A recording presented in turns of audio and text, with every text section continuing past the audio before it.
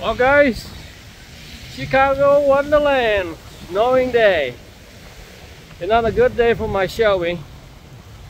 You know why? Not good for driving in the snow. That's what it is. So uh, I'm here at the shop. Like I said last few weeks ago, uh, got to get the car fixed. So I'm paying for it. I pay for my deductible. Now I'm here at the body shop and pick up the car. And uh, how she look? Snowy white. All right.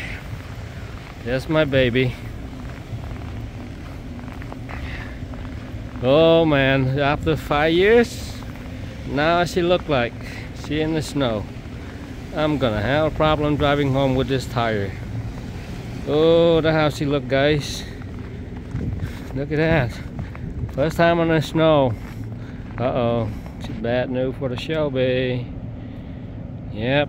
I gotta scrape all this snow down. And then crawling home. Well, look at the dent. Oh, dent's gone. Hey! Hey, one quick thing. So, I didn't notice that. It's missing a stripe like here. So I gotta come back in the spring to uh, put it, have them back, put it back on.